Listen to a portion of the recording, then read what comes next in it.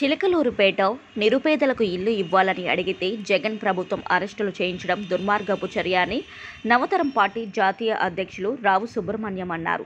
పట్టణ ప్రజలకు ఇళ్ళ పంపిణీ చేయాలని సిపిఐ ఆధ్వర్యంలో చేపట్టిన టిట్కో ఇళ్ళ స్వాధీన కార్యక్రమం పదహారవ తేదీన జరుగుతుందనే ఉద్దేశంతో జగన్ సర్కార్ అన్ని పార్టీల నేతలతో పాటుగా నవతరం పార్టీ జాతీయ అధ్యక్షుడు రావు సుబ్రహ్మణ్యంను చిలకలూరుపేటలోని ఆయన స్వగృహంలో హౌస్ అరెస్టు చేయడం దుర్మార్గపు చర్య అని నవతరం పార్టీ నేతలు తెలిపారు.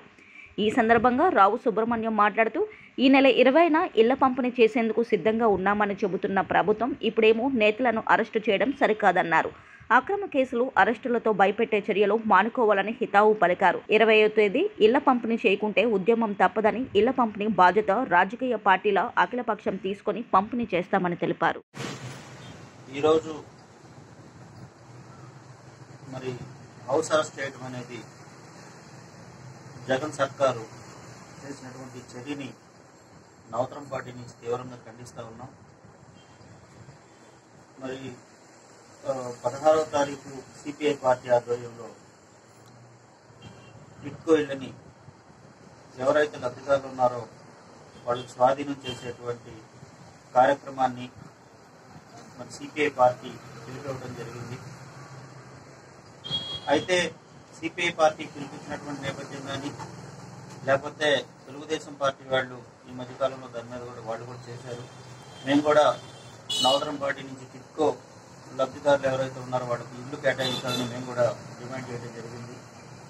అందులో భాగంగా ఇరవయో తారీఖు ఇల్లు ఇస్తామని చెప్పి మరి ప్రభుత్వ అధికారులు మరి ప్రభుత్వం నుంచి ఒక ప్రకటన వెలువడింది. ఇస్తే మంచిదే. దాన్ని నవతరం పాటి నుంచి మేము స్వాగతిస్తూ ఉన్నాం. కానీ ఏదైతే ఐదు వందల రూపాయలు కట్టి మరి ఇల్లు తీసుకోవడానికి సిద్ధంగా ఉన్నటువంటి లబ్ధిదారులకి ఇప్పుడే ఇవ్వరని చెప్పి చెప్తా ఉన్నారు. యాభై వేలు లక్ష రూపాయలు కట్టినటువంటి వాళ్ళకి మాత్రం ఇస్తామని చెప్పి చెప్తా ఉన్నారు. ఎందుకంటే వీళ్ళైతే డబ్బులు కడతారు వాళ్ళైతే డబ్బులు కట్టరు అనేటువంటి ఒక ఆలోచన ప్రభుత్వం చేయడం దుర్మార్గమైనటువంటి చర్య. ఇప్పుడే తక్షణమే ఈ ఇరవయో తారీఖు లోపు ఎవరైతే ఐదు వందల రూపాయలు డబ్బులు కట్టి మరి ప్రభుత్వం ఉచితంగా అవన్నీ కూడా రద్దు చేస్తాం ఇస్తామని చెప్పి చెప్తా ఉన్నారు. వాళ్ళకు కూడా ఇరవయో తేదీ లోపు ఇల్లు పంపిణీ చేయాలని చెప్పి జగన్మోహన్ రెడ్డి మరి ముఖ్యమంత్రి గారు వారికి విజ్ఞప్తి చేస్తా ఉన్నాం. అట్లాగనే ఎవరైతే యాభై వేల రూపాయలు లక్ష రూపాయలు కట్టారో వాళ్ళకు కూడా పూర్తి ఉచితంగా ఇల్లు ఇవ్వాలని కూడా నవతరం పార్టీ నుంచి డిమాండ్ చేస్తా ఉన్నాం. ఎందుకంటే ఇది ప్రధానమంత్రి ఆవాస్ యోజన పథకం కింద ఇచ్చినటువంటి పథకం. మరి మౌలిక వసతులు కల్పించడం అనేది రాష్ట్ర ప్రభుత్వం అట్లాగనే ఇల్లు ఇంటికి సంబంధించి ఒక్కొక్క ఇంటికి మూడు లక్షల పైచిలకు కేంద్ర ప్రభుత్వం డబ్బుల్ని కేటాయించడం జరిగింది.